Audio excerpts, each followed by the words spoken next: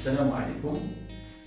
أعزائي التلاميذ أعزائي التلميذات أرحب بكم مرة أخرى في هذا الدرس آه، الجديد. إذا درس جديد من دروس الرياضيات. والخاص بالتناسبية الحصة أو الدرس الثالث والذي سنتناول فيه الرأسمال وسعر الفائدة. لكن قبل ذلك سنقوم بالتذكير للدرسين الماضيين معامل التناسب والنسبة المئوية. وسأركز هنا على معامل التناسب. إذا رأينا جدول أعداد متناسبة وتعرفنا على طريقة أو التعرف على جدول أعداد متناسبة. إذا سأعطيكم مثال لجدول أعداد متناسبة. نعم. إذا لاحظوا معي هذين الجدولين. سنتأكد أو سنتعرف على جدول أعداد متناسبة. لاحظوا معي الجدول الأول. إذا للتعرف على أن جدول جدول أعداد متناسبة أو ليس بجدول أعداد متناسبة نقوم بقسمة كل عدد في السطر الثاني على العدد المقابل له في السطر الأول. يعني 12 نقسمه على 6 12 مقسوم على 6 يساوي 2 20 مقسوم على 10 نعم تساوي كذلك 2 إذا نلاحظ أن إذا قسمنا عدد في السطر الثاني على العدد آه، المقابل له في السطر الأول نحصل على نفس الخارج. إذا بالتالي نستنتج نستنتج أن هذا الجدول هو جدول أعداد متناسبة. كذلك يمكن استخدام الجدائين المتساويين. من خلال استخدام الجدائين المتساويين. كيف ذلك؟ يعني أن سنقوم بحساب 10 في 12 10 في 12 لاحظوا معي؟ 10 مضروب في 12 تساوي كم؟ نعم تساوي 120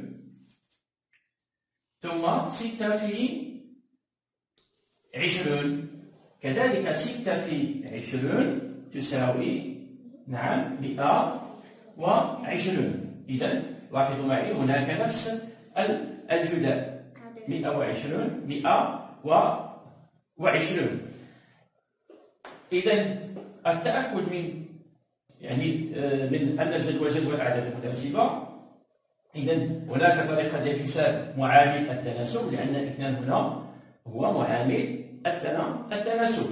يعني الانتقال من أعداد السطر الأول إلى أعداد السطر الثاني نضرب في إثنان. والعكس هنا نقسم على إثنان.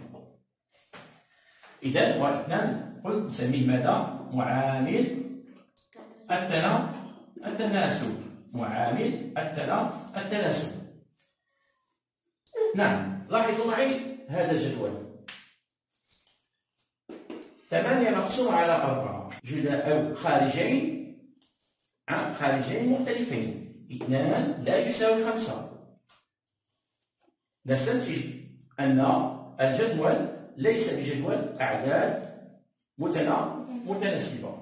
إذا ليس بجدول أعداد متناسبة. ليس بجدول أعداد متناسبة. إذا يمكن التأكد من ذلك باستخدام الجداءين المتساويين. جداء لاحظوا معي ثلاثة في ثمانية. لاحظوا معي ثلاثة في ثمانية تساوي أربعة وعشرون. ولكن أربعة في خمسة عشر أربعة في خمسة عشر تساوي ستون إذا جدائين مختلفين وبالتالي الجدول ليس بجدول أعداد متناسبة. إذا سنتعرف الآن على كيفية حساب الرابع المتناسب. هناك طريقتين. الطريقة الأولى هي استخدام معامل التناسب. إذا استخدام معامل التناسب. إذا لاحظوا معي هذا المثال للتعرف على معامل التناسب.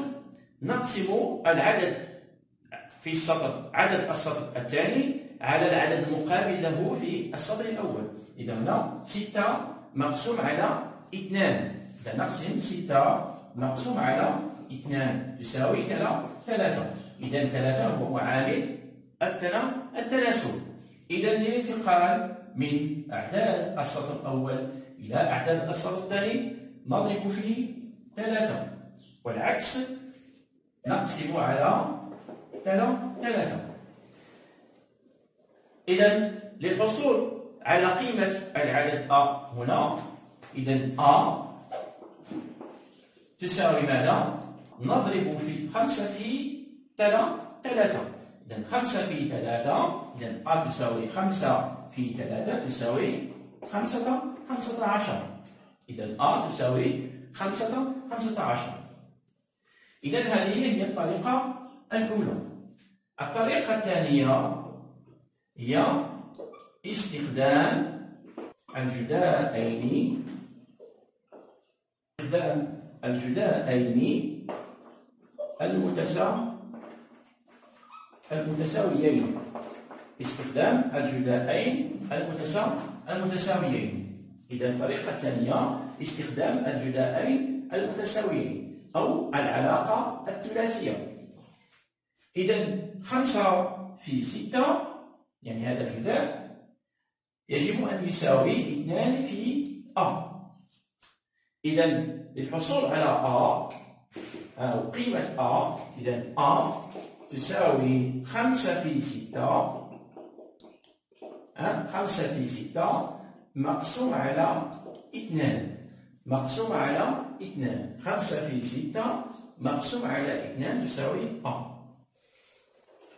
إذا أ تساوي خمسة في ستة تساوي ثلاثون مقسوم على اثنان تساوي نعم خمسة عشر. وهو نفس النتيجة التي حصلنا عليها باستخدام معامل التناسب.